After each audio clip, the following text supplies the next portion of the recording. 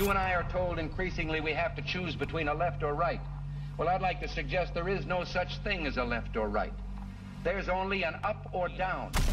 This is the No Doubt About It podcast. No doubt about it. Now your hosts, Krysty and Mark Ronchetti.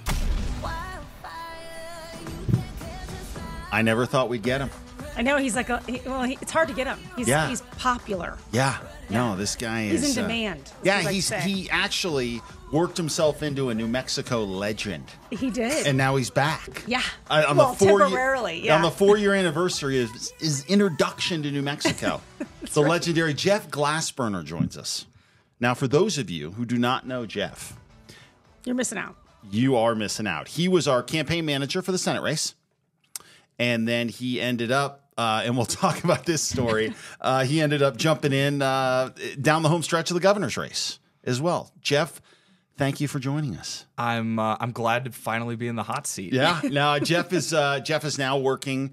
Uh, well, first of all, we'll get into what you're doing here. You're living in DC now, and, and we'll get into kind of what you're doing broadly here. But I, I want to kind of give people an idea of how we got to know you and, and how this whole process started. So, talk a little bit about um, how we got introduced to each other back in, I guess it was 2000, late, late, late 2019. Yeah. I so going back almost four and a half years now. Um, I remember the first time I talked to you, interview, and it was like October of, tw- I want to say November of 2019. Yep. Um, you know, you were thinking about it. You hadn't made a decision yet, but you were kind of going through that process. And at the time, I was at the Republican National Committee. I was doing data stuff uh, across a region of states. Yeah. Um, but I always kind of had considered myself a political guy who did data, not Right. like a, a data data guy. Yeah. Um, and so I, I, I remember part of the interview, like I asked you the question that any self-respecting operative should ask. Uh, you know, why are you running? And then you went on like a five-minute stump speech that I was like, oh my god, this is incredible. Like, like did, was somebody recording this? I think I, I literally said that. Um, and so I was in from that moment, and luckily it worked out from there. And uh, I, I remember, I'll never forget uh, getting the job, flying to DC on like January 3rd. Yeah. And I believe the announcement was on like January Seventh. 7th. Yep. Yep. And I arrive in town. So I get in town the first day. And I, in DC, I didn't have a car. Like Yeah. I had sold my car when I moved to DC. I, I walked to work, like I did everything. Right. So I fly to DC, I fly to Albuquerque Yeah. uh, early one morning, January 3rd, New Year, and which is just wh- what I could put in two suitcases yeah.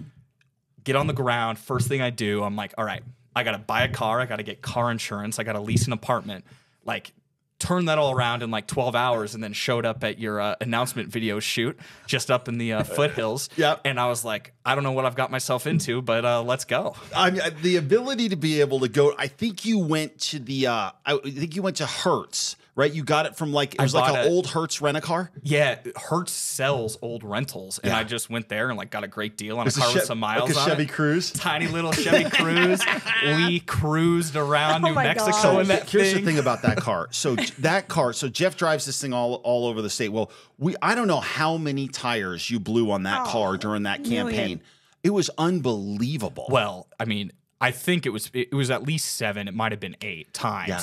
And like I was, by the time that the Senate race was over, I was done. I mean, Yeah. I was, I was like, You're just this- gonna leave the cruise by the side I of the like, road? This, yeah, ridiculous. But and we'll get to this.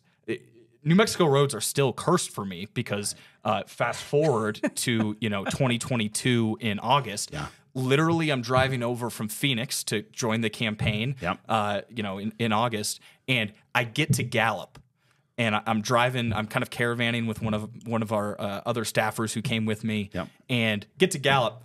What happens? I have a flat, but we're literally as we cross the border from Phoenix into New Mexico, and I was like, "You have got to be kidding me! Like, mean- what?" and, and during that Senate race, we, it, it was so. You know, you had so many flat tires. We eventually were like a pit crew. It was like, zzz, zzz, zzz, zzz. Yeah, you two are constantly changing it was the unreal. tire. Oh, it's fantastic. I mean, by the time it was done, they get the cruise going. Like we we knew that cruise inside out, and then eventually, didn't you go bottom it out somewhere on some dirt road? Oh my out gosh! by- yeah, I mean, we were talking beforehand about the stories that would just come up as we talk, and he, yeah, here's one. So I've already blown out like six tires. This is the middle of COVID, and like New Mexico was number one in the country for being ridiculously locked down. Right. So like we're dealing with running the campaign and all that, but like also meant there was limitations to what we could do on days because especially in the state it's not like we were having massive door knocks or doing the typical campaign event uh, circuit and everything Yeah. or even fundraisers so there's a time in the summer and the, the height of the lockdowns take the car out to uh, out by Grants Yeah, Um, El Mal was it El Malpais? Yes, yeah, the volcanic rock Yep, uh, yep. state park. Yeah. Beautiful place, highly recommend Yeah. anybody. You should spend a day out there. But I take this little Chevy Cruze, me, me and a buddy of mine who is in town. Um, take the Chevy Cruze and we're kind of driving around and just seeing all the sights and hiking through the tu- the lava tunnels and everything, and it was beautiful. And then like we're just on these dirt roads that I really had no business taking this tiny little car on. Um, just ran we're, we're almost out. Like we're at the point in the in the getting out of this really rural area. It's not even it's all gravel dirt dirt roads not even gravel roads just dirt like paths. Right. like we're literally swerving through cows. Like there's cows just laying on the dirt. Oh, like yeah, it was crazy. And we're about a mile away on this like 10 mile trip to get back to like a state highway. And did not see it. There was a massive rock. So we're driving didn't hit on the front of the bumper. Like I, I was like, oh, I'll clear this. But we were going uphill, so the rock as we went uphill um, hit the oil pan. So I start leaking oil, but I didn't know it happened right away because like it was just it just felt like a bump, like all this other rocks that we're driving over. So we make it like another mile, like we're we're we can see the state highway, and like we're parked. Uh, but the car slowly starts slowing down. The oil is problem. burning, Yeah. and I'm like, "Oh crap! Like this is about to be a massive problem." Yep. Um, and yeah, and so we uh, we we got stuck there, and we didn't have cell service. We had to walk like half a mile in this field of cows, like towards this state highway, praying that one of us would get a bar of service. Luckily, we did. Uh, tow truck came like an hour and a half later, towed us all the way back. Luckily, my tr- I have AAA. And the 60 mile radius or whatever was right on the edge out by Unser. Right. And so we got to like the one place that was within my like non overage limit. Right. Uh, and yeah, so that was that was the day. Yeah, yeah. And- I, and- I swear it's bad luck. Like whatever it is with the campaign and cars, like it's just. I, he yeah. comes out. I remember him coming out and and you t- when coming out for the governor's race and that whole thing near Gallup, and I'm like, oh my gosh, we should get all the people on the campaign team that fix the flat stuff. Remember, I want to do like welcome baskets that for really everybody. doesn't work very I well. know, but still, I was like, this is so bad that's already happening. Um, and then I think you guys are working for maybe 30 days, maybe two weeks together again. And I get a phone fo- call from you guys, and you're like, yeah, so you're not going to believe this, but uh, yeah. Oh, The do, rental do we have to talk about Yes, this? This one? is embarrassing do. for Jeff. I don't know if it we was- need to. it was the rental car, wasn't it? Yeah, well, yeah. Yeah. So we were in a rental car. We are down in Socorro. Um, we did a fundraiser I want to. down in I just want to. I want to. I want to make a point. oh, yeah. That Mark agreed with me that the setup of the dash on this car was ridiculous. It was a Volvo, and yeah. it, it was it was ridiculous. And so everything that you're about to hear, it was a mistake any other person could have Oh, made. okay, all right. Any other person, Any other person uh, could have made But I had had the car weeks before that and had not made that mistake. But um, so we were coming back up from from Socorro, and all of a sudden we're on the last hill getting into the Albuquerque area, and all of a sudden the the power sh- starts to shut. I mean, you're just going, you're looking around, and there's no juice left in the car, and Jeff's like, uh oh, uh oh. So we thought we had like a major engine problem. So we pull off to the right side of the road and figure out this is a problem that I think from the beginning of time, it, when this happens to you, you feel like an idiot because we ran out of gas. and so it's just and you like, called me and I said, "You guys need to do a Ronchetti on the road because Oh, we yeah. were videoing those all the time." and you both It was a rough said- moment for me. It was a- both it was a said, rough one. What are we gonna do? We're in the middle of the highway. We're gonna do a Ronchetti on the uh, road with us running. And it's like, you know, it's not like we were in the middle of nowhere. We were. No, we no, we were. weren't. We were We by weren't. Isleta. Yeah, we went to the Maverik, right? It cut- Yeah, yeah, yeah. We were Yeah. in the Albuquerque it was metro. just it is just the like juju of the campaign plus a car. Yeah. I promise. Well, you like, spend so much time on the road. You're, you're literally putting thousands upon thousands of miles on your cars. Yep. And I mean, and- I blew the whatever in that rental car too. I blew something in a Yeah, rental we had a big event in, uh, right Roswell. before the yeah, right at the end. right Yeah. at the very on the end. Ronchetti on the road tour. Yeah, Yes. I, I was just with the girls, and Yeah, we I don't had know what happened. Krysty. Uh, it was a rental car that was a. Uh, It was No, like it was a- the Tahoe. It was No. a Tahoe. The Tahoe, and we had to we had to run somebody up Yeah. there in a rental to No, go. but get it that. wasn't. But it It wasn't wasn't, the- mine. No, it, was, a, just yeah. uh, it was a rental. But Yeah. I don't know what happened to that either. I still don't know what I, if I blew the transmission or what. But that Yeah, I thing, know, that thing shut oh down on my you, too. gosh! Yeah, and, that, and. I was in the middle of no man's land. Yeah. So yeah. Anyway, okay. So Okay. enough car stories. But, yes, uh, yeah. We, we knocked some car stories out, but so so let's talk a little bit about. Um, first of all, I think uh, I'm trying to think of the right direction to go with this, but I think just kind of um, I, I'd like to hit on before we get to doing a bunch of campaign stories. I think it'd be good to kind of reset where we are because you had a very interesting job this past six to eight months. Yes. and I want to talk to you about that because it is such a. It's kind of in the middle of the news. You were the Iowa State director for Tim Scott's campaign for president. Yeah. And so I, I want to I want to start there just because we're you know it's kind of front of mind and, and we're looking at now is the race over and everything else and, and we've talked about that we'll talk about it again and we'll fight about it again here in a second but I, I think first of all your impressions having been on the ground in Iowa you Yeah. were there throughout most of it and, and are you surprised at where we are are you you know wh- where are your thoughts on this race and what you saw in Iowa Yeah, I mean, so first, it was just an incredible experience. I mean, um, Senator Scott was an incredible candidate to work for. Um, he was the the perfect Iowa caucus candidate. I mean, he walked into a room and he would light everybody up. Like it was every single person in the room when they left, if they didn't know anything about him or they didn't have a good opinion or they didn't have an opinion of him or they weren't voting for him, they left as either a supporter of the campaign, you know, signing up to volunteer, um, or just liking him as they were kind of making their decisions about who they'd caucus for.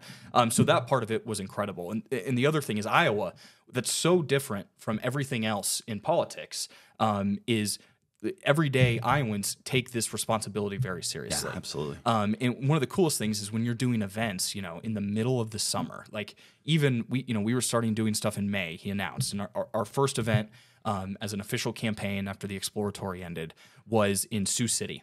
Um, he did the announcement in Charleston and he flies to Sioux City. And so we did, we did a couple like press events and everything. Um, and I remember we showed up, uh, we, th- this amazing kind of warehouse in this local business um, that we got to do this town hall at. And it was 250 people showed up. I mean, 250 people Big- on a a big number. on a Yeah. Wednesday night in Yep. Sioux City, Iowa. Um, they take it very seriously, and, and that was what the whole experience was like. And obviously, you know, you go to more rural areas, and um, the events are smaller, but proportionally for the population, like there's a lot of buy-in, and the Iowans take it very, very seriously.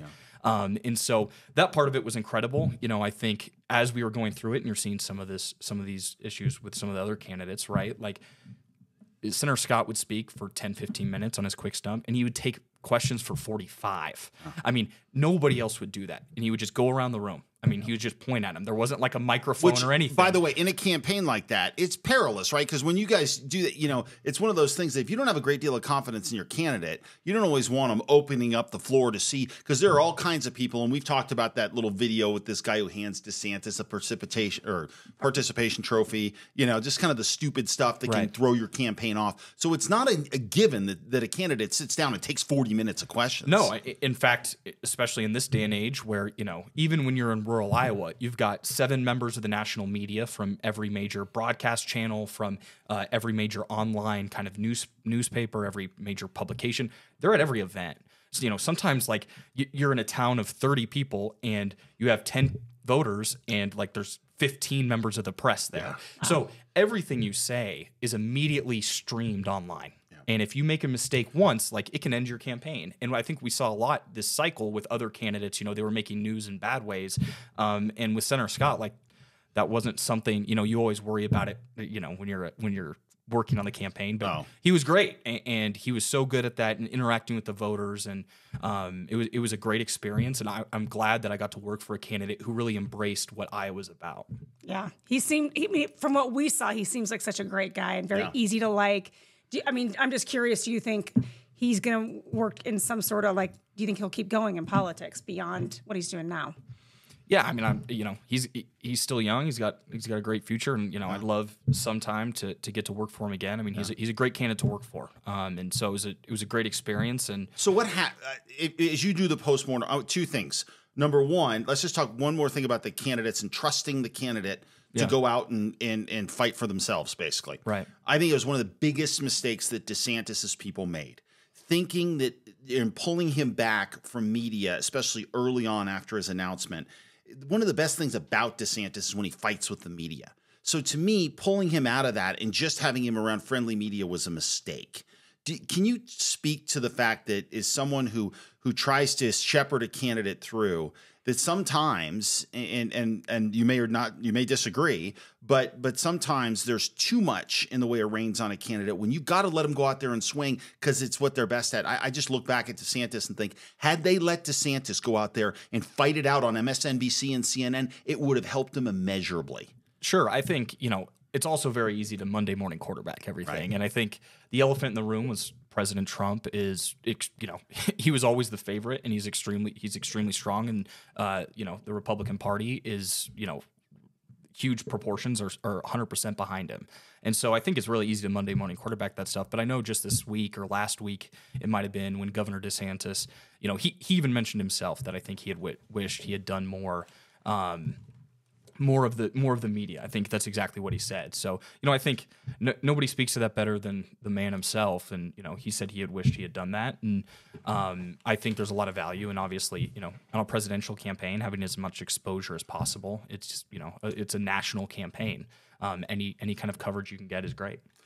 You, so, so, what happened? Yeah, what I was going to say, did you have Tim a, Scott? Did yeah. you have a feeling it was going to end for him soon, or was it kind of a surprise when Yeah. he just like? Yeah, I mean, I, honestly, I'll just take the words right from Senator Scott uh, when he dropped out. Um, the night he dropped out on on uh, former Congressman Gowdy's show on Fox.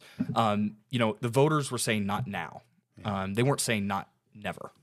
Um, and I think you know there was a lot of. uh, I think one thing that's clear after the campaign is there's no other candidate, um, probably besides President Trump himself, who among the Republican Party um, did more for their favorability and their standing. I mean, you just look at any public polling. Um, he's probably one of the few presidential candidates to leave in a better place than where he started Yeah. um, in terms of that. So, Which is rare. Yeah. a- and so I think he deserves a lot of credit. You know, he just felt that at that time, you know, he, maybe the pathway wasn't there anymore. Um, but I think it's important, you know, th- the voters said not now. This wasn't the year. Um, but we'll see, you know, what the future holds for him. Yeah. Yeah. Okay. So let's talk vice president then. Would you be shocked if he was on the short list? Uh, a lot of people have talked about it. Do you think he would like it? Do you think they should consider him? What, what do you think? Yeah, I mean, he's he, he would be great for the country. Um, but you know, I, I I have no idea what he Right. wants to do, and um, you know, I don't want to pretend to speak for information I Right. don't have. Right. Right. Um, but no, I think you know he- he's been a great servant to this country in South Carolina as a senator, um, and I'm sure there's going to be a lot of other great opportunities he has in his future. And you know, so Were we'll you see surprised at all that you that he backed Trump instead of Haley for the home state of South Carolina coming up? Um, I just think it's kind of just recognition of where the you know Where it's a- a- at. post Iowa. Um, you know, President Trump won by 30 points, and um, Governor DeSantis, you know, got out a, a couple days later. And um, I think you know, obviously, the senator and President Trump have a great relationship, um, and just where with the primary electorate is at across the country, and kind of where we're at as we look stare down a general election against Joe Biden um, in November. Um, you know, it, it's just a question of kind of timing. And you know, President Trump pulled in over fifty percent in the first two states. You know, so we'll see what happens from here on out. So where do you think we're going with this? Is is is so Haley? I mean, so we had a big argument on this on our last episode. I said, look, Haley's done. Like it's just there's no way to to keep going. You know, there's no plausible case for her to make, especially going into South Carolina, that's far more conservative than what New Hampshire is. So is she really going to stick around? What do you see if you looked out in a crystal ball and I told you, hey, tell me what you think probably is going to happen? Well, and here. let's also back it up by saying your whole thing was Yeah. she's out of money. She's going to be done with money. She's not going to be able to stay the, ne- the next month. My argument was there's still enough people that like her and that still want to support her. I bet some money will start flooding in for her. Right. And, you know, so I mean, I don't know if there's truth in that. I have no inside knowledge on that either, but that was the argument we were having. Well, is can she stay alive through South Carolina? which there's going to be tremendous pressure to bail, right? From all different sorts of angles. There's also going to be the the biggest issue I think is money, but then even behind money is do you want to stick your head in a wood chipper coming up in South Carolina and and really basically finish yourself off politically? Yeah, I mean, I think we've seen. I mean, Iowa and New Hampshire, and maybe more so Iowa showed. You know, President Trump is still extremely strong with you know the Republican base. Um, and you just look at polling in South Carolina, and it suggests the same. Um, you know, I think everybody has a right to do what they want and i continue on if, if you wish. But I think you know you, we can look at the first two results and make some informed guesses at, at where this thing is going to be in about four weeks or less less than that. So, do you think she'll drop out? I mean, what's your gut? What do you think? Is she done, or you think she'll show up in South Carolina? That was kind of our. We bet a steak dinner on it. So it's Yeah, It's I a said really, she's out Oh before well, then I, South Carolina. then I can't get in the middle of that. I'm not gonna. I'm not. I'm not prognosticating on the outcome of this. bet. He likes us equally, Mark. So Oh, is that like, what don't is? ask him to pick your side. Un- I, I, Unbelievable. I can't pick sides here. I can't pick sides. Okay, and so and we'll just wrap up the presidential stuff here. The race versus Biden, assuming it is Trump versus Biden. Uh, partly what you're going to do coming up here in your career, you're going to be involved in a variety of different things, but one of them is polling and things of that nature, which Yep. we'll talk to you about. When you look at President Trump versus Biden now, uh, it, is it the same race that it was in 2020? Is it a different race that you could draw from from years past to say, hey, if you're looking for in weather, you always do these things where you look for analog years. Right. When you try to take the atmospheric setup and match it to another year. Right. Right. Is there an analog year for 2024? Um, you know, I think it looks kind of very similar to President Trump's first run, um, more so than the reelection in 2020, just because President Trump isn't president. And, um, you know, at the time in 2016, we were coming off eight years of Barack Obama, and there was a lot of uneasiness and unrest at that. Um, and kind of where we were as a country, and, and President Trump came in and, and, and obviously had his win. Um, and I think this looks a lot like that. You know, we have uh, a current ironically, Barack Obama's vice president as president. Um, you know, President Trump isn't president now, um, and so he's getting to be that challenger role that he was in 2016. And I think, you know, as we get further into this year, um, you know, we'll see what happens with the economy and everything. But one thing that I don't think will change is, you know, the inflation rate is still positive. Right. it doesn't. Uh, prices don't go back down. And so even though we're all happy that the the rate is lower than it used to be, that's still a positive growth in price and and what I think everyday Americans are dealing with at the grocery store, um, even at the gas pump, um, and all these different places. And so that's tough to run away from. I think um, you know if you're President Biden. uh, Voters haven't had a chance to punish him for the state of the economy and the state of prices and inflation, which make this a lot different than even previous recessions. I think, where you know it maybe took six or some months for there to be voters to start to realize the economy was better and jobs were back. That's really not the problem this time. It, the problem was inflation and, and things are a lot more expensive. Yeah. And that because that doesn't go away, I, I don't think that problem's going to go away for President Biden either. Well, and especially not to mention the border issue. I mean, I think, you know, if he doesn't have any sort of come to Jesus on the border with solutions or, you know, anything to, to put forth on that, I think that's the thing he's going to get, you know, hung out to dry on. To some degree, but he's trying now. Oh, I know he's trying now, They're trying but- to reach a deal. Well, I mean, and I but I, I think you know you look just this yesterday. I think Governor Abbott deserves a lot of credit for what he's doing. Right. I mean, like you know, and obviously the Democrats are trying to spin this one way, but you know, Governor Abbott's putting his foot in the sand and saying, you know, we're gonna, you're not gonna let Texas be overrun. Um, this is a real problem, and as we're seeing in cities like New York. Uh, Chicago and some of these Democratic metros, um, you know, I'm not sure if there's been a more effective uh, Oh, that- policy yeah. in the last decade almost than Governor Abbott starting to you know um, send illegal immigrants on buses to these places. Um, because now I mean it makes sense as you look at it in hindsight. You know when you send a lot more people to a place, it strains the resources of that place, and it people have to the voters in those cities have to deal with it on a daily basis, just like the people in border towns in Texas, New Mexico, and Arizona have to. Well, I mean, think about the issue too. and We talked about this before that because Biden has been so irresponsible on this issue, he's moved the country right on it, right? Right. So, in other words, would we have ever talked, like in the Senate race, we never would have stood up and said, we're going to put them on buses and we're shipping them out, right? I mean, Times now have- times have changed, for Everybody, sure. yes. And that's that that is owed to Joe Biden, really, and what he's done. And the other thing that's interesting about this race is, and, and I'd love your take on this, you, you actually have a president that is is running against a former president who can point to a short time earlier things being this much better when the other guy was in office. Right. That's a weapon that has not been utilized before. And again, I think part of this becomes how little he really needs to make up voter wise, right? Right. So go through some of those numbers. People don't always realize they think, oh my gosh, Biden, you know, he's got to make up 4 million votes. No, he doesn't. Not even close. Right. Well, I mean, every I feel like every presidential we go through this, right? People forget it's not the popular vote. It's about what happens in a few states. And even in, you know, in 2020, regardless of what the popular vote was, the election came down to you know. 50,000 votes across three states. Um, it was incredibly close. And I think a lot of people have forgotten about that. Um, and so as we look at this year, you know, especially with President Trump, if, uh, you know, assuming he's the nominee Yeah. here um, as the challenger, um, you go to a state like Arizona, where just in the midterm um, at the congressional level, it was R plus twelve. Yeah. Um, there were, you know, some statewide that were R plus twelve. You know, 2020, I think partisanship was uh, R plus four in in terms of the turnout, and President Trump lost the state, you know, by a raise or raise within margin. As the challenger, he probably wins the state this time. That's not to say it's not an uphill battle by any means. It's going to be, you know, it's going to be fought pretty closely. Um, but I think that just the environment is is better this time around for Republicans in general than it was last time. Yeah. Okay. So we'll see. We'll see how that shakes out.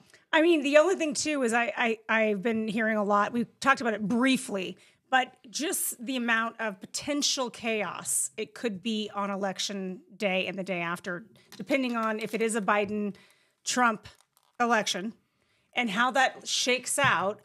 You know, is it going to create chaos regardless of the shakeout, like how it turns out? Like I, I'm a little nervous about that, and I have people that are writing in and saying we should be praying for our country and praying that everybody keeps their wits about them and remembers what this is about, and you know, don't make this such a divisive war. Which I just don't think that people are going to change Yeah. that fast because it's still the same guys. So that's why I do think in some ways it's a repeat of 2020 Well- because it's just this. Well, do you think uh, turnout? Let's talk about that. You talk about the same guys, and there, and there's and Haley's trying to make the case now, and she said it in her in her I guess concession speech in New Hampshire. Although it tried to make it sound a little bit like a victory speech, which is the the first party to get rid of their 80 year old standard bearer is going to be the party that's going to win. Do you get the impression we're going to look at a turnout that's that's not going to be what it's been in past years because of enthusiasm? Yeah, I mean, I think when you just look at even the rate of turnout, I mean, 2020 was right record raw turnout, but the percentages historically weren't crazy. Like it, it, when you look at the percentage of like the American population, it wasn't. We weren't setting records in 2020 on that either. So, um, you know, I think it's going to be a very long year, and it's about to be the longest general election of maybe American history, where both parties already have their nominees lined up. Um, and so, who knows the effect that that's going to have? Is that going to energize people to show up? Is it going to, you know, is it going to scare people away from showing up? Um, you know, I think we're still so early in the process, and you know, obviously the we South Carolina is still coming up on the Republican side, so we still have some inter-party stuff that we're working out. Um, so it's it's going to be really interesting how that happens. But you know, looking back, 2016 wasn't that high of turnout. 2020 raw turnout was was super high, but historically it wasn't it, it wasn't like the best the highest ever or anything. Yeah. All right. Okay, so let's. Uh, I want to. I want to get into you coming to New Mexico, and and I think, um, you know, just because I I tend to do these things in the worst order possible. Yeah. Um, Some things never change. yeah. Oh no, no. this There's is no how doubt. his brain works. Yeah. yeah, like, yeah. It's uh, just jumbled in there, and it all eventually gets out, but Yeah. but not in the order it should. Um, let's. I want to talk to you a little bit about before we, uh, you know, we can reach back to the Senate race, but the governor's race was interesting for us, and and because you actually, so we we had made a decision to run for governor in this uh, by the summer of 2021. We had made no decision um, at all, and so I remember you and I got on the phone and, and you had an opportunity to be part of a campaign, the the governor's campaign in Arizona, and uh, you were we were talking about you taking a job with Karrin Taylor Robson, Yep. who was a very good candidate there. Yep. she's the one who went up against Kari Lake, and in that race, it was very close. And so you you hop on that campaign while we hadn't come close to making a decision. So you're doing that, and, and so talk to me a little bit about that experience. Now and we're sitting here kind of watching you from the side going what's because that was the biggest race in the country really. So you're running her campaign how intense was that Yeah. and then we'll eventually get to what happened during in that race but uh, talk about the, the intensity of that because wherever Kari Lake seems to go intensity seems to follow and this was no different Yeah, I mean, it was. I mean, it was definitely probably the craziest uh, campaign experience I've had in my life. I, I don't think there's any question. And um, funny enough, you know, most as most political operatives know, uh, you know, you don't have jobs for very long in a two-year cycle, uh, especially when campaigns hire. So that was the longest job that I've had. I know, that was a long campaign Since I for left- you. it's honestly. crazy. Since I left college, Yeah. I was Yeah. there. I was there for like 15 months, I think, 14 Oh. months. Oh, So, it's This was crazy. long and their their So- primaries in August, right? Yeah, so Arizona has a super late primary. So this Yeah. was this was a long run. Um, and 2022, I think, as a lot of people know, um, you know, there was a lot of really intense primaries all across the country. Yep. Um, and so we were getting started really early um, in the in the summer of 21, kind of getting prepared for everything. Um, and at the time, you know, the race was really even from the start. It, there was kind of three main uh, uh, candidates. It, wa- it was Karrin Taylor Robson, uh, who I worked for, Right. Um, Kari Lake and Matt Salmon, Yeah. uh, former congressman. Yep. Um, he had run for governor before. He's been an institution kind of in in Arizona politics for a long time. Um, and so, you know, in 21. it- Kari Lake got the Trump endorsement, which Yeah. obviously in Republican primaries, big deal. It's, it's a big deal, and Yep. and I think most people know who Kari Lake is now. Um, she also came with you know 25 years um, of camp of TV. She was on TV for 25 years, and I think as as Mark well knows, Yeah. um, It's quite an advantage. that kind of you know that kind of name ID in, in the Yeah. Phe- in the Phoenix media market, which is Big the- deal. one of the most expensive in the country. Yep. You know, if you put a price tag on it, like you're talking uh, hundreds of millions of dollars over 25 years, like just in terms of raw name ID. Yep. Um, and people, and, and you know, she was people's news anchor. They liked her. Like Yeah. you, you like your news anchors, um, because if you don't, they don't last very long. Those jobs. But you would think because of that, you guys are going to get plastered in a, in a primary and get smoked. That isn't how it went down. I mean, this thing was back and forth the whole summer. Yeah. So Karrin, I mean, all the credit goes to Karrin. I mean, Karrin was a phenomenal candidate, um, and, and it was an honor to work for her. I love her, and you know, I would I would do anything to help her at any point. Um, and we built we built a really good campaign, um, and she was, you know, she got really good as we got through it being a candidate like going to the events like getting people to buy in she you know we raised the most money um you know she she worked you know that's an important metric for it candidates is. and, It matters. and and and obviously she had a lot of money that she put into the campaign herself but even in addition to that we still were raising the most each each quarter um and so those things i mean those are just the kind of the blocking and tackling of running a campaign. And we just ran a very disciplined um you know kind of focusing on the basics fo- focusing on what we knew we needed to do in arizona um you know focusing on uh, voters i- i- in Arizona, you know, a lot of retirement communities and that kind of thing. And the main voting block for ever in Arizona has been kind of 65 and over, 55 and over. And so we were doing a lot of targeted outreach to them. Um, we had an expansive field program, we had a big staff. Um, we were doing all of these things uh, kind of that you need to be successful.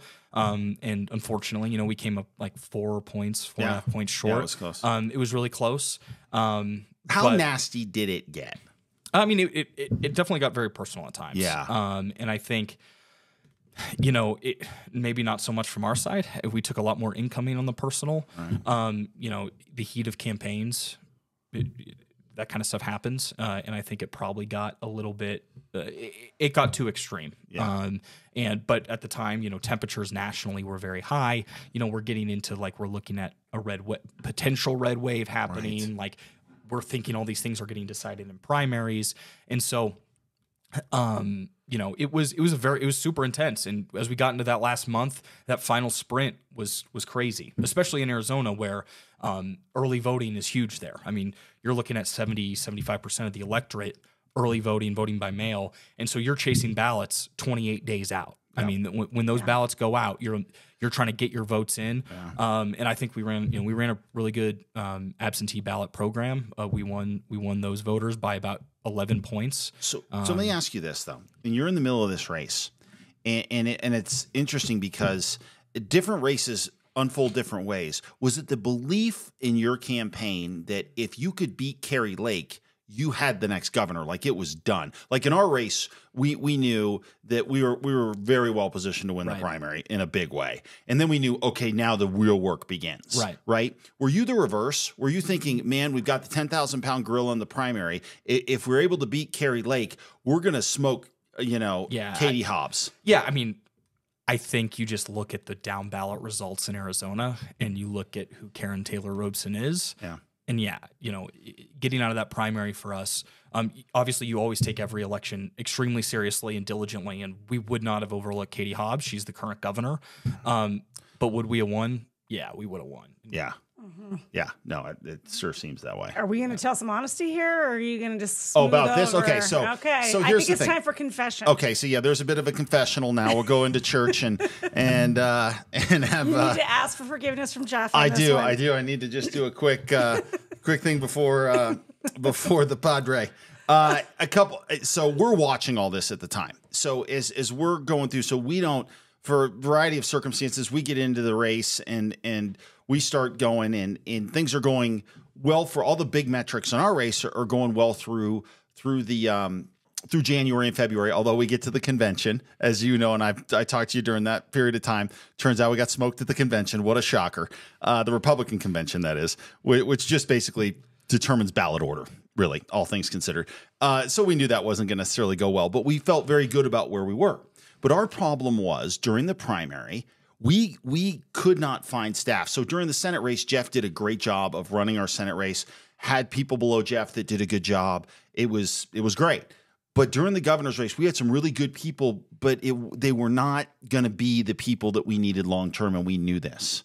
So as the race starts to unfold, um, uh, you know, Jay, who's who's our campaign consultant, so so he does ads and things like that, and I are sitting there talking, and we're like, boy, we uh we're watching Jeff, and not that we wanted you to lose, Jeff. But, uh, we're gonna I- need to but I bring just- fact checker Christy in at some point on this. Listen, I, here's the thing. I thing. think there's might be some uh, some misleading I mean, statements. every I, I will be honest with this. Like, I wanted you back too, Jeff. If all if we're all being honest, like we saw the level of work you put in. Yeah, um, you have such. I mean, I, I uh, the first day I ever met you, when you walk into our our kitchen. And I'm like, okay, uh, Mark said you were coming, but I thought that was like in a couple of days. You're like, no, it's time to get started. And I was like, okay, are you all settled? Do you need any help? And you're like, oh, I got an apartment, I have a car, everything's great. You walk out the door, I look at Mark and I go, how old is this guy? He looks like Michael P. Keaton. Like you're super clean cut. You look about 21. I know you're way older than that, but that's what you look like. And then you worked so hard. Yeah. Like you never stopped. You were an energizer bunny. And so we had people on the governor's race that did work hard, but we didn't have kind of like the general that could really like pull it all together for us. And so we were all missing you. We really were all missing you. But we, I, we did. I had to, had to keep reminding that Jeff is out there trying to help So- another really good candidate. and and I should explain the timing on how all this works. So, so you know, we're going through our primaries in June, right? Early June. So his is two months later. Yeah. So in other words, so we we go through and we roll through the primary and win by forty, however many points, and everybody's like, all right, you know, and all of a sudden, you know, the people that said they hang with us through the primary, they're all gone. Yeah, like, they- they have other jobs Who wins a primary by forty-two points and their staff is gone? Yeah. And so then we're looking. They had committed though to other things, Oh. and so yeah. And Yeah. I'm like, now what? Am Oh. I am I your new campaign manager? Like, No, and so bad. Jay is jumping in doing stuff. Nicole, our pollster's jumping in and doing stuff. Alexis is doing about like we have all these people filling extra roles. I mean, literally, everybody thinks these campaigns have a ton of staff on them. They and don't. we've said that they don't, and then they they do when you get toward the end. That's when you have a lot of people. and even then, it's not like these are huge operations. No. Like, No, Yeah, but no. you have seven, eight people that are in a big part of the core, Right, right? right. And so, so we're watching, and we get to election night in Arizona.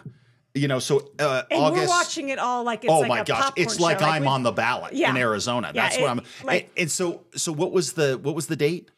It, w- it was like uh, August second. Yeah. something like that. Okay, so Yeah. we start watching, and, and Karrin goes goes up early. Karrin goes up early by like ten points. Yeah. So Jay and I are texting back and forth. It's like a Cowboys football oh, game, and, and Jay's way. like, Yeah. "We're done. We're done."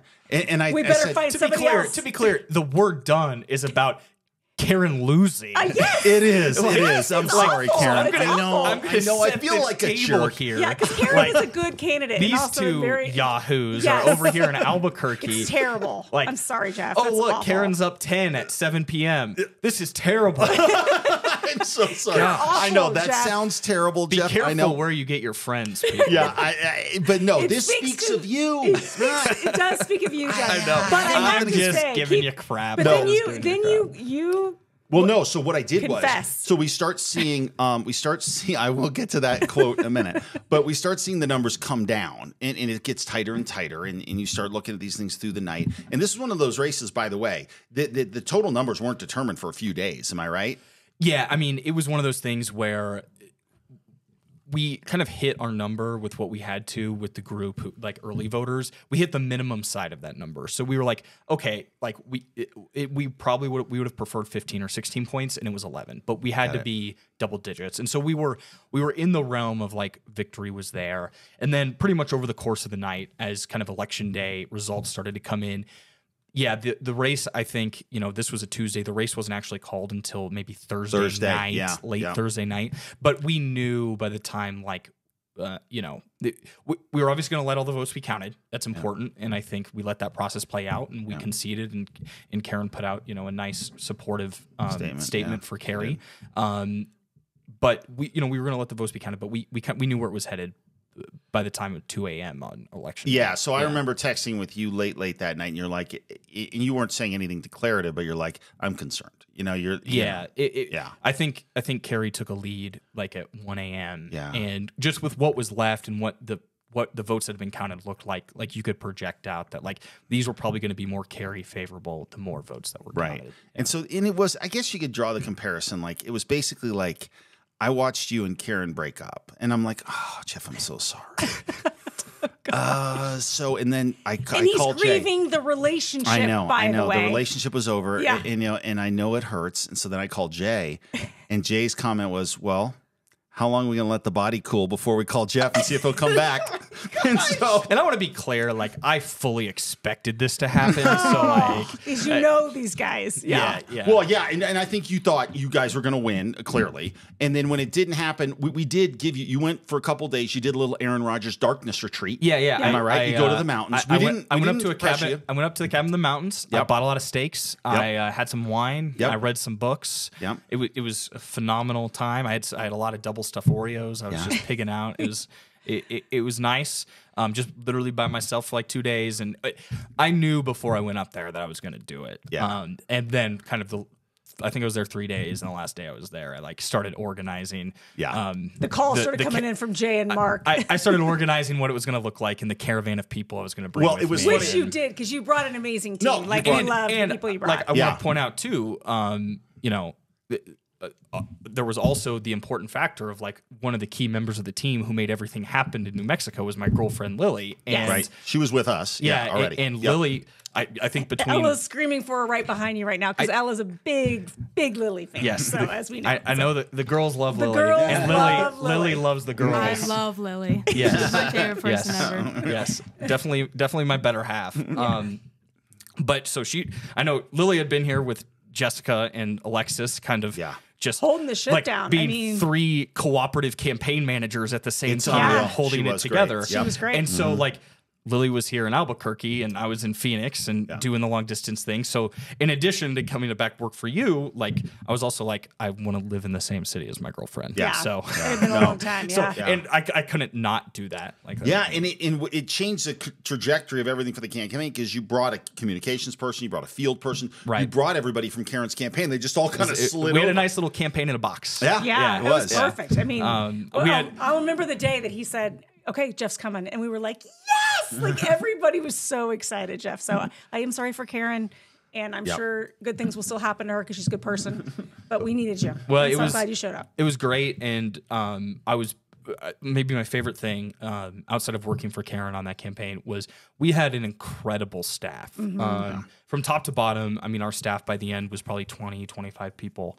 Um, we had amazing field reps, and like they're all going on to do big and better things. I'm sure they'll all be much more successful than I will. So we, I was very lucky in a time where it was hard to hire campaign staff. We kind of put together a great group of kids, um, and I was lucky enough to be able to to bring some of them and some of my lieutenants uh, out with me and join forces with Lily and some of the some of the good staff that you guys had here, and we kind of uh, merged forces and Yep. sat down in the conference room. I think you know, election day was August 2nd. Uh, the race was called August 4th. And I think I was here by August 10th. Yeah, that sounds about right. It was right. right after the uh, DeSantis event we did. That's I right. were- yeah. Yeah. And, Yep. and I, I remember me and Brandon, who's the political director, on Karrin, who br- came with me, and Ryan, who's our comms director.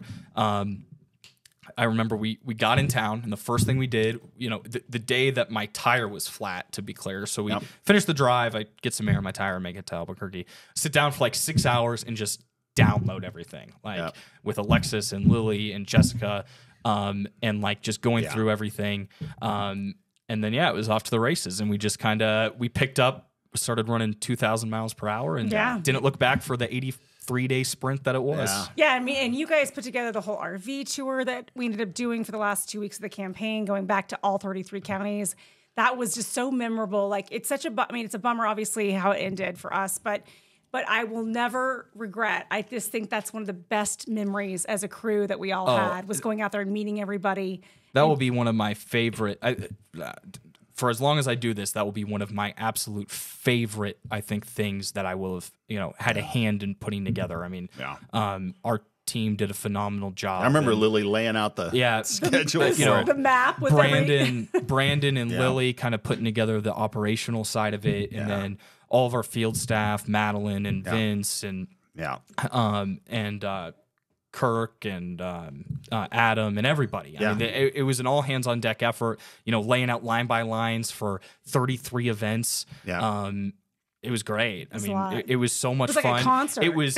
I, I know we st- we started on like a Friday night and we went all the way through the Monday before election day. So it was like 11 day tour. yeah, it was long. It was long and I mean, yeah, 30, It was so much fun. Yeah. And and you should do that. I mean, honestly, it, it, everyone, every, and even an elected should do that and just sit out and go to every county It's and so sit down with important, everyone. yeah. It's the best. It's how It you guys really really, see and know people. I mean, Yeah. we've been to all those counties before, but not all collectively. Right. Right. And I think just that that was it built a lot of momentum. It was great. We also got to celebrate Jeff's birthday like a hundred times. Yeah, we did. Uh, well, between Well, I want to be clear. We actually celebrated Hector's birthday that's Yeah. true. a lot more So- than Yeah, Yeah, mine. we do have so. video of that. I'll pull that out. Then Oh, that show was so. That yeah. was one of the things we do. Was we go to a restaurant somewhere, and then it, it would always be a race to figure out who could tell the server it was someone else's birthday. Yeah. And, and so uh, Hector usually took the. You know, Hector was. It was Hector's birthday. Seriously, Hector drove the So the it started at the a, RV for us. I think it started at the Texas Roadhouse in Hobbs. Yes, that's right. Like we bring right. a crew. Yeah. So uh, we had we had DPS officers who were with us at the time. So Right. we, we had a, we had all of our staff. We had the bus out front. Yeah. We had we had the whole family. I Yeah. think this Yeah. first Security, time. yeah. So we had like we were rolling deep. Like we had Yeah. twenty people Yeah. at this Texas Roadhouse. Yeah. And and Hector, or, or no, I think the first time we did it, we just pulled the prank on Hector. And Yeah. Like we told the we told the waitress offline. like, Yeah. Hey, Hector's birthday. Yeah. Come on. and uh, Hector, you know, they bring out the sombrero for him. and Yeah. It was hilarious. Yeah. It was great.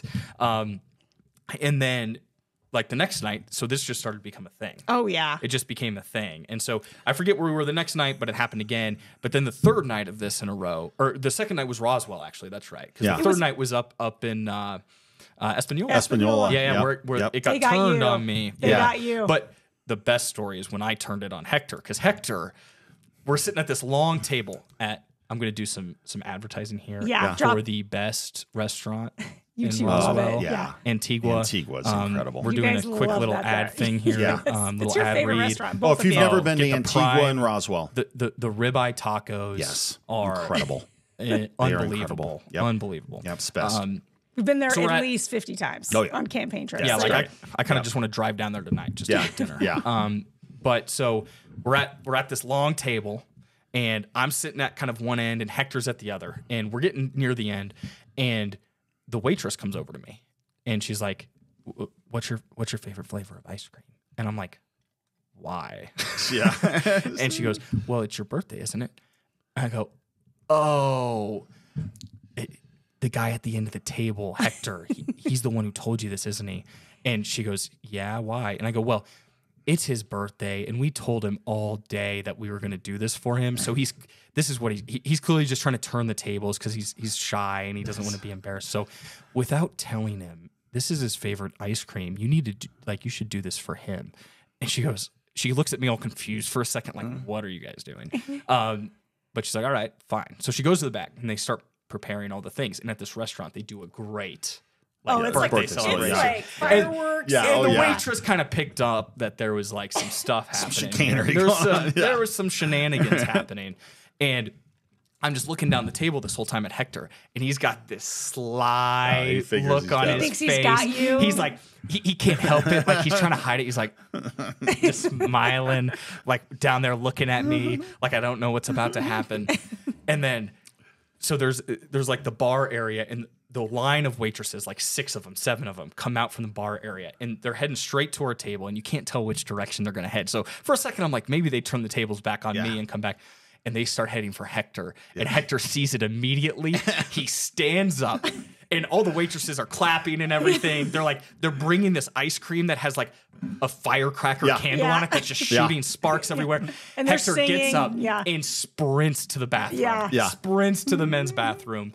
The waitresses follow him Yep. and just sing to him Yes. while he's in the bathroom by himself, like just yelling at the door. We're all losing our minds at Yeah, the table. it was so fun. It was great. I And have then- video of that too. so Yeah. then the final the final piece of that story is the next night we're in Espanola. We're at, I, I forget what the restaurant was, but it was it was delicious. Yeah, it uh, was good. Mexican Yep. restaurant. Yep. Um, and it wa- it was so good. And Hector speaks to the waiter, and he starts speaking in Spanish to the waiter. Well, And now you're host. I'm like. I don't know Spanish. Yeah. Um, and so I was like, oh, something's something's happening. But I kind of forget about it because he did it at the start. Yeah. And all of a sudden, out comes out comes like the clapping, Yeah. and the singing, and a, Yeah, this, oh, there you this go. massive. Oh, There it is. Your sombrero. There it is. Oof, oof. Oh yeah. I, I look rough too. That was, Well, that that was was- day tough- twelve. That was like day well, I twelve think of that, that was tour. like we were 24 hours away from uh, the election Yeah. or I something. recall that yeah. event in Espanola was huge. Yeah, yeah, which it it was was, really a cool. great night. Yeah, it was good. Um, yeah, and then I, I have that sombrero on, just getting changed. So I, I hate to bring the bring the uh, bring the discussion down, but I think people would want to know when you, when you look back and do the the post mortem on our race, Yeah. knowing that you know uh, a variety of things went down. What do you think was the reason that we didn't get to the finish line and win? Yeah, I think especially when you when you look at what the national environment was, right? And we're so we're coming into the end, and it, uh, polling was actually pretty accurate. I think there was some more partisan polls that came out near the end that kind of spun everybody up, Yep. but for the most part, from from late July to probably um, mid October, polling had been pretty clear. Like it was going to be Republican favorably, but f- it's going to favor Republicans was the environment, but it wasn't going to be overwhelmingly so like we thought. And then at the end, there were some partisan polls that come out. You start looking at some of these results in states like Arizona and Pennsylvania, where there's these super close races that Republicans look like we might pick up. And for us, I think to win, the national environment was it was going to have to be a red wave Yeah. um, especially post Roe versus Wade, like in what the Democratic turnout was going to be. Um, we needed it needed to be a red wave nationally, and that was going to help. Th- That meant the environment was good enough locally for us to get there. Um, and then you know you get to election night, and the results start coming in on the East Coast. Um, and obviously, some states like in Florida, you, you know, it was uh, overwhelming. But you look at some of the congressional races in Virginia, No, it's not good. um, it- and it was clearly on we were on shaky ground. Um, and when the national environment wasn't overwhelmingly Republican, that sent off some pretty big warning sides. Um, you know, looking back now, I think it real 2020 the story of 2022 was every state was different. Um, and like the red wave materialized in some places with like really strong GOP governors and um, you know really good they had really good operations in those states and everything and, and they had really active it, kind of active Republican apparatus up and down the ticket. Um, here, at the end of the day, um, there was no swing voters when it came down to it. Um, you look at all the results up and down the ticket. There were no candidates that overperformed or underperformed. Um, we were all kind of in line with each other.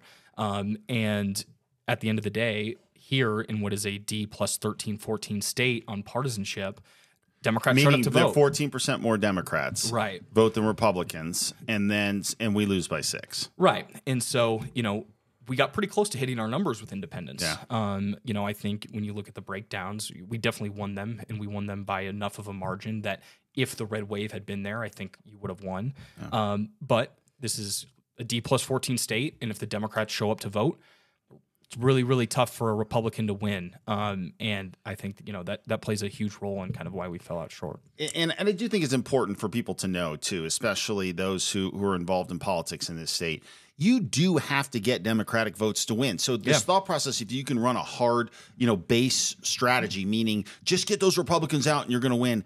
That's not how it goes. Like you've got to reach over to the other side and try to get some of those votes over. and this wasn't a story in other states, but we didn't really have a huge Republican turnout problem here. Yeah. Um, I, I remembering back to the 2020 Senate race, I remember on election day looking at some of the numbers that were coming in throughout the day of like turnout at these precincts, and we were nervous during the day that like Republicans didn't show up. Right. Um, that really wasn't the case this time, um, which was the case in some of these other states. Like we, we did a pretty good job of getting Republicans to show up. Right. Just turns out that there's a lot more of them than there was of And do us. you, do you attribute that to the to the Roe versus Wade decision or the or the Dobbs decision?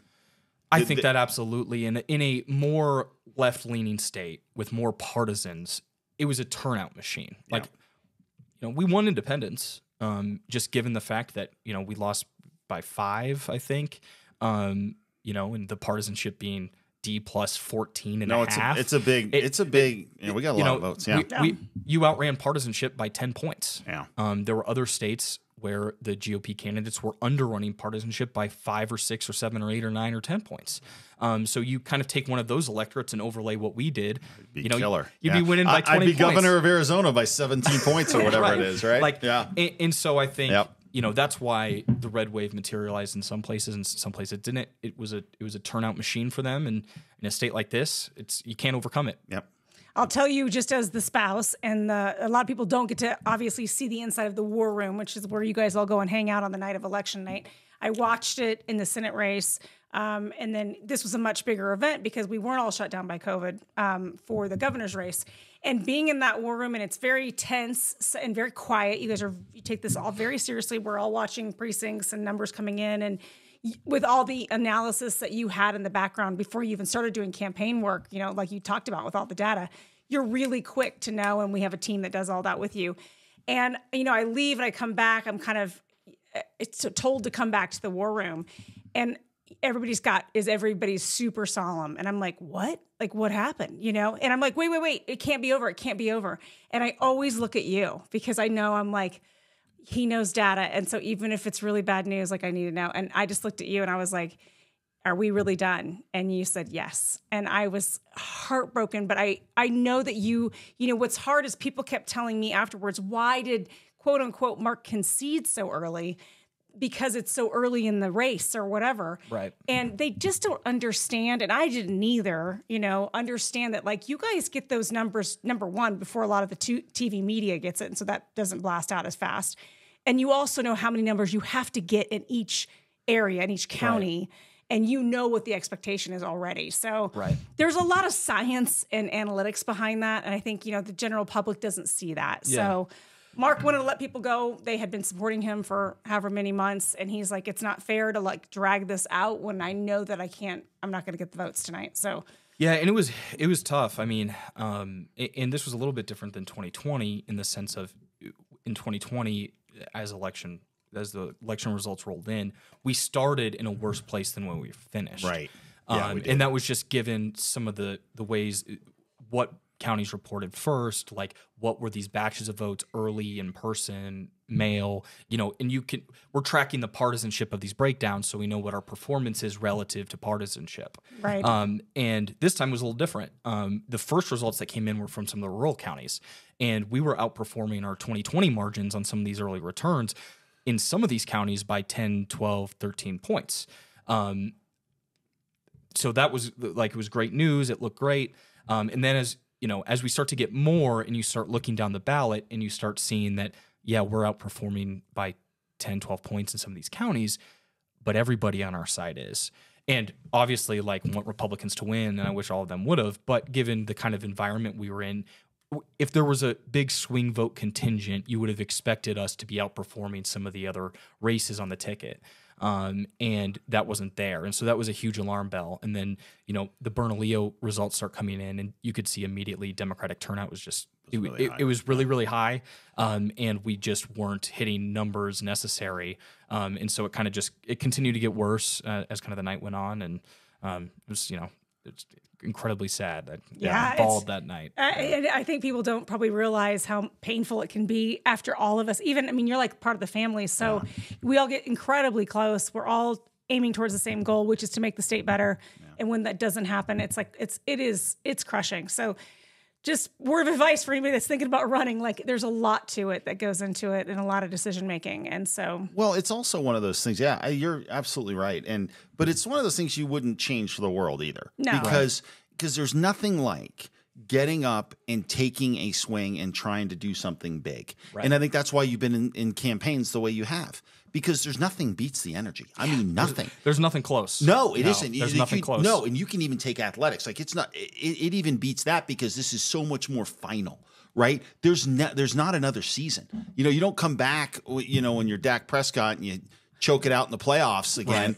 you know, you get to come back the next year. It turns out. Uh, in this, th- there is no more final Right. thing than this. And so, is that what keeps drawing you back to it? Just the that feeling that man, there is no more intense environment than a political campaign. Yeah, I mean, I like to say it's the closest thing to professional sports that exists, except instead of having lots of regular season games, you have one championship Yeah. game, and or maybe two if the primary and everything, um, and that's it. And you know, you can when you have a lot of games in like sports, you can get better, you can improve, you can do this.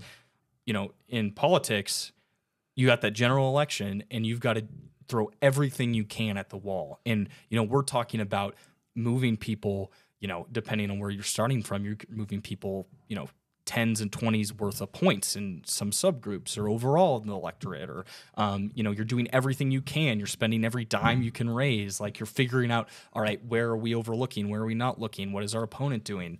Um, and every day with your i mean and especially for you who you had to leave your job you know it's if you win you keep your job you've got a job you'll find a job if you lose Yeah. you have no job. I mean, Yeah. i- Right. in in the professional world, it doesn't get much more competitive than that. Right. Yeah. Keep your job or lose your job. Yeah. So it's uh, I'm a very uh, competitive person, as I know you guys are, um, and so it's I'm, I guess I'm addicted to that. Which Yeah. I, I don't know what that says about me. That's probably a No, problem. no, no, no, no. You're very professional. like I think that that's you know we wanted somebody to put everything in it because we were putting everything on the line too. Yeah. So No, Yeah. and so what do you see if, for you? What do you where do you go from here? Like what, what where do things go for for you and and what do you see happening? Will you get involved in another campaign? Yeah. So, I mean, I love campaigns, and so I never want to not do campaigns. Right. Um, that's like really important to me. It's kind of part of who I am now, and I think I'm I think I'm decently good at them and organizing them. Absolutely. Um, and especially with my data background and the way it kind of started and introed myself a little bit, I was, you know, I've always considered myself a political guy who either did or understands and knows data. Um, and so, kind of in this next part of my career, um, a, it's in the last seven years, six years, I've lived in seven states, moved, you know, rented too many U-Hauls, had too many leases. Uh, the time had come to an end. Like I, I cannot do that again. Right. Um, and I got to scratch the presidential itch that I had with with uh, Senator Scott in Iowa, so that was great. But I, I'm not going to go on a campaign like that again. But I'm going to stay involved. Um, I, you know, I'm now uh, kind of doing polling things. I'm still doing political things um, for different entities and, and, and some people I care about and who I want to help out, and just making sure that. Um, you know, doing it kind of from a bigger picture level, the more strategic level, less so the day to day operations, more so, all right, let's look at this data. What does it mean for the decision making on what TV ad we're going to run or what mail piece you're going to do or how you should organize your campaign or talk about this issue um, and really try to shape the direction of campaigns, less so on, you know, the we're driving to Gallup, New Mexico for Although a county a great. GOP It- it was meeting No, it's and true. blowing a car tire for the 25th time. Well, it is true though, and, and it's something that people don't always understand from the outside is that you know you're not just throwing up ads here or there. You're not you're not just throwing messaging out that you hope sticks. Right. I mean, there is a lot of data that goes into these decisions.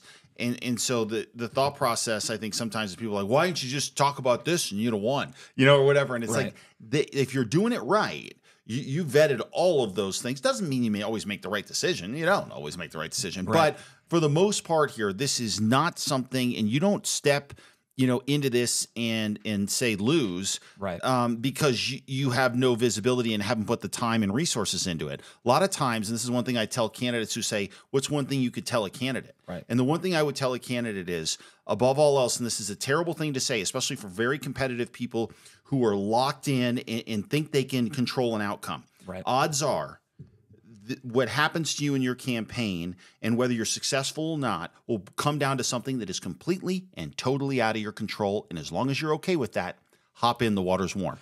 Yeah, I mean, a lot of campaigns. I mean, campaigns are I mean, there's big spending that happens, right? And, and part of the reason that it's important to run a data driven campaign is you're efficient with the people who are contributing to your campaign's money, right? You don't you don't want to waste the money. You want to use it efficiently. You want to reach as many voters as possible.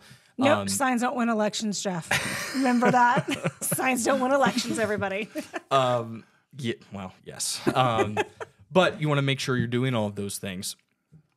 Um, and so, you know, as you're as you're as you're doing this, it's important that you're you're following those kind of details and making sure that the campaign is being run in a way and it, competitively that you're take you're vetting every single thing, like you said. Um, and so, you know, having that data is is important. Yep, no doubt. well, you are forever part of our family, Jeff, as is Lily. So uh, we miss you, Lily. A little shout out for her. Honestly, I- this feels like just like old times, like Yeah. it- like no different than uh, like four years ago or Yeah. two years Yeah, it's ago. pretty- Okay. Well, hey, Jeff, thanks very much. We appreciate it and I'd love to see you here. And I'm sure you're going to be in and out of New Mexico doing some of the work you're doing. And we'll have you back on when you come back into town. Love it. All right, brother. Very good. Thanks for joining us. And we'll see you next time on the No Doubt About It podcast. We hope you've enjoyed the show. We know we had a blast. Make sure to like, rate, and review.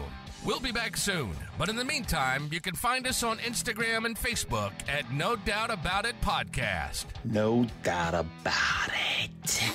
The No Doubt About It podcast is a Choose Adventure Media production. See you next time on No Doubt About It. There is no doubt about it.